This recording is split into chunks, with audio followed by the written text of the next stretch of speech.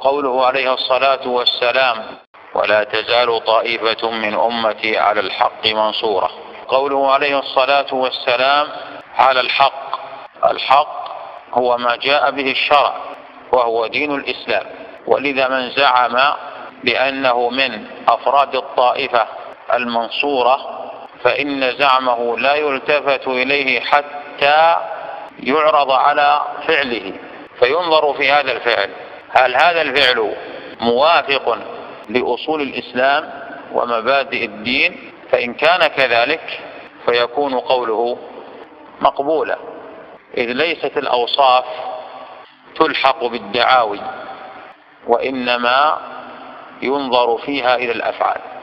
وقوله عليه الصلاة والسلام على الحق هذه فيها تبشير من النبي عليه الصلاة والسلام لهذه الطائفة المحتاجة إلى التأنيس في آخر الزمان فإنه أتى بالحرف على وعلى يدل على الاستعلاء ففيه تبشير لهم وإشارة إلى أنهم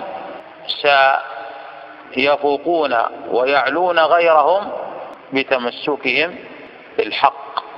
ولذا قال ابن القيم رحمه الله قال إن الله عز وجل إذا ذكر أهل الحق أتى بحرف على الذي يدل على العلو وإذا ذكر أهل الباطل أتى بحرف في الذي يدل على الانغماس والاستغراق في الباطل.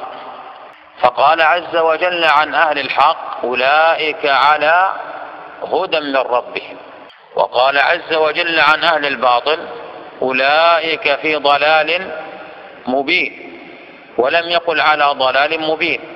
ولذا جمع بينهما عز وجل في قوله تعالى وإنا أو إياكم لعلى هدى.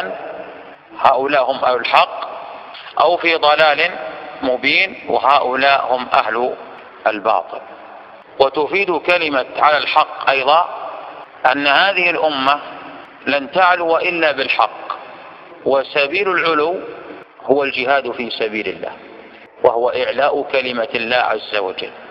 ولذا قال النبي عليه الصلاة والسلام إذا تبايعتم بالعينة ورضيتم بالزرع وأخذتم أذناب البقر وتركتم الجهاد سلط الله عليكم ذلا لا ينزعه عنكم حتى ترجعوا إلى دينكم.